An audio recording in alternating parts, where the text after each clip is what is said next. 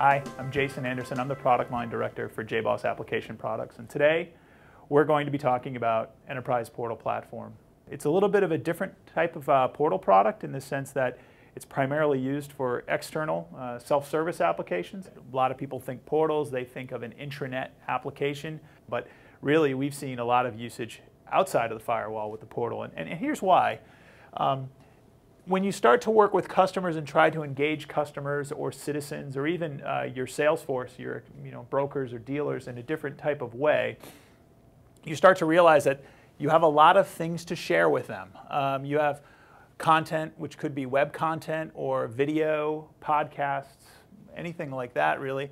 You have the applications you want to share. They could be e-commerce applications, transactional applications, um, you know, uh, manufacturing line applications. The various services uh, uh that come along with a SOA environment, things like tapping into an enterprise service bus or to a back-end rules systems like we provide here at JBoss with our integration products. And then you have things now that are becoming very popular such as feeds. And feeds are, you know, coming from various cloud-based applications or social networking sites like Twitter or Facebook coming into uh, your business that you might want to share. And then, of course, you also have the profiles of the users themselves. Who's using what? What have they bought from you? All that information might be something you need to help deliver a tailored, personalized experience. The way we do that is to bring it all into the portal platform and aggregate all these things in.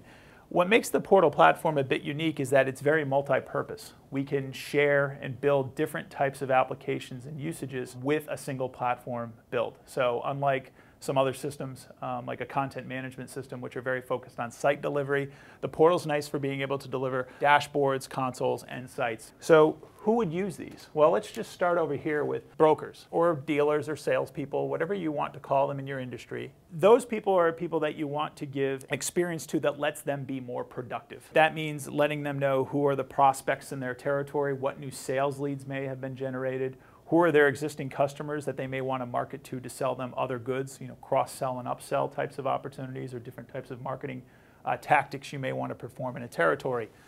In that case, them having a dashboard on the portal is a very popular choice. Of course, maybe you don't have an externalized sales force um, and you may be just dealing with customers directly. That's actually a very strong trend in a lot of businesses nowadays. Direct to consumer uh, the first step in dealing with those folks is generally through a website. So you can actually build a very rich content-driven website with the portal platform that enables a user to get all of these services in a personalized way. For example, let's say this customer lives in Canada. You do not necessarily want to share with them product information that they have in the United States. If a customer spends a certain amount of money with you, you may want to um, provide them a special offer or a special discount. Lastly, not all customers will use the web. So that person may pick up the phone and actually call a customer service rep. And the customer service rep is sitting there and answering your calls or answering emails. And what they'll need in order to perform that transaction is a rich console.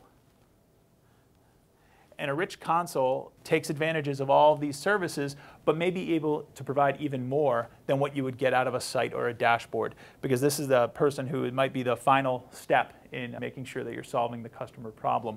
So this particular application may have um, access to internal only applications that you wouldn't want to share outside the firewall. It may have access to um, different types of information so the CSR can escalate uh, the issue properly within your organization to get the customer's problem solved.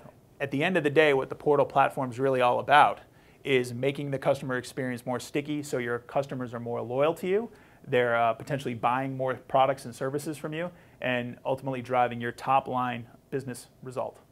Thanks a lot, and thanks for tuning in.